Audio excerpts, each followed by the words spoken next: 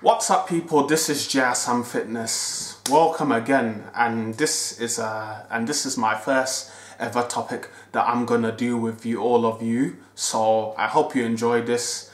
I'm gonna make sure this I'm gonna make sure that this goes quick for you and you have the enjoyment of it and you have the main understanding of it. So let's get right into this and also make sure to give this video a thumbs up. It helps me out a lot and also make sure to subscribe so that you can see more of my content and also put the notifications on so that you can get my content so that anytime when I create new content you'll be the first to know. And this topic and this topic is how you can keep fit while you are fasting while you are fasting during Ramadan. And it's not just for boys it's also for girls as well.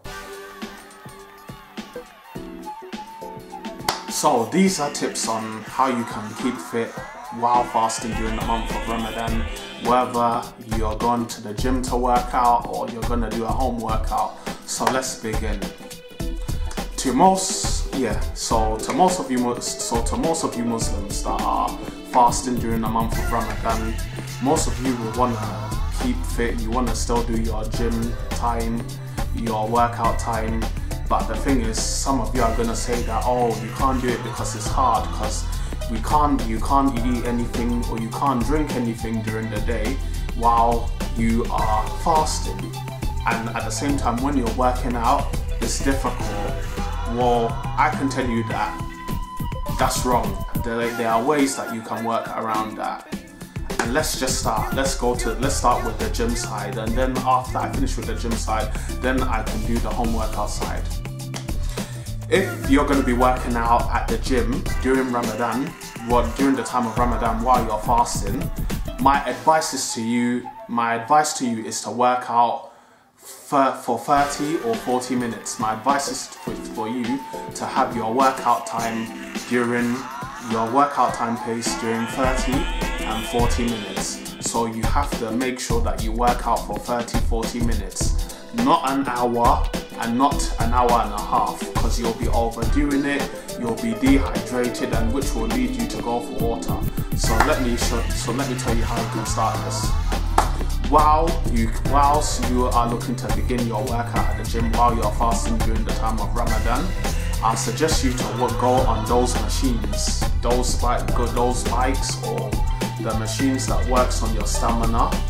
Don't go on the treadmill. Don't go on the treadmill because the treadmill is gonna make you dehydrated whilst you are running on it. If you wanna go on a treadmill, you can, but I suggest you do a slow walk on a treadmill like 6.6 or 7.0, but don't do the jog pace like where you're running. I suggest you don't do that because it's gonna lead you to be dehydrated. But if you think that going on the treadmill is going to make you dehydrated, I suggest you go on one of those machines like similar to a bike or where you are pedaling and you're holding it to work on your stamina. That's, yeah, so I suggest you go on those machines. Those, that's a good, yeah, those machines are like a good way for you to start your workout. Like how, yeah, those are, yeah, it's a good way to start warm you up whilst you are beginning your workout. So I suggest that you start on those machines to begin your stamina. It's a good way to warm up before you work go to the other workouts. The other, but don't do it too long. I suggest you do it for like five minutes, ten minutes until you get the workout feeling. So that's the treadmill part. I suggest you not to use the treadmill because it's gonna make you dehydrate so if you're gonna use the treadmill, I suggest that you do a walking pace like 6.6 or 5.5. But my main aim, but for but for me, I'll tell you to just go on those machines like similar to a bike to use for, to work on your stamina, to use as a stamina for like to warm up before you start on your other exercises, your other workouts at the gym.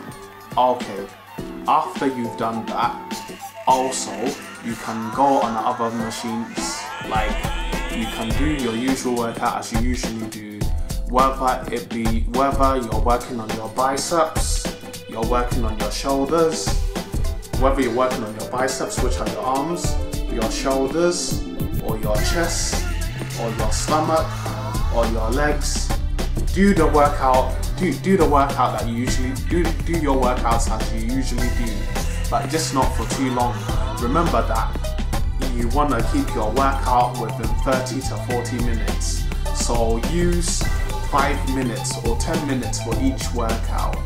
Actually, use 5 minutes or 10 minutes to each for each of your workout so that once you've got the feeling of your workout and you're starting to sweat, go to your next one. But remember, try not to overdo it because you're gonna dehydrate, and also it's gonna make you feel have a thirst for water.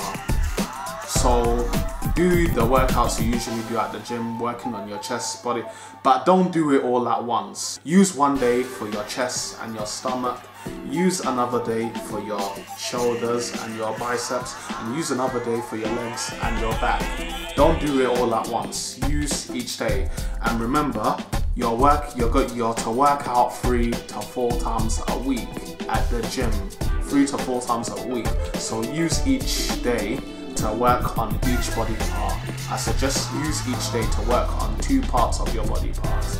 Don't do it all at once. Trust me, it's not worth it. And remember, because it's Ramadan, you're fasting, you, you should you only have 40 to 30 minutes to work out. So use each time to do that workout. So that's all I can tell you. Make sure to do all that do your usual workout, but remember you're working out within 30 to 40 minutes after, once 30 minutes has passed, I suggest you finish up, have, yeah, I suggest you finish up, clean yourself up, clean yourself up after you finish from your workout at the gym and get yourself ready to go home so that you can break your fast after iftar and whatever. So basically make sure that you work within 30 to 40 minutes make so basically make sure you watch the time you work out. Either you have a watch on you or you have a phone on you that you can use for time. And sometimes they'll have a clock there that that will be at the gym. Make sure to watch the time at the gym. So make sure so remember you're working out within 30 to 40 minutes. Don't overdo your workout because you are fasting. And remember this is only for a month once Ramadan is over, you can go back to doing your actual workout routine, which is an hour or an hour and a half or whatever way you do it. So that's so that's what I suggest for you to do. So so that's what I suggest to you for you to do. That's my advice.